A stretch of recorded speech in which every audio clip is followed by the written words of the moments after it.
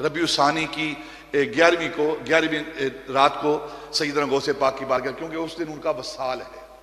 तो जिस दिन उनका वसाल हुआ है तो मुसलमान ईमान वाले उनकी बारगाह में हदिया पेश करते हैं, जिसे हम ग्यारहवीं के नाम से जानते हैं। और ये ग्यारहवीं हकीकत में इसाल सवाब है, और ये नबी पाक का अमल, सिहाबा का अमल, फरिश्तों का अमल, अल्लाह रबुल्ज़त का हुक्म कुरान पाक के अंदर मौजूद है।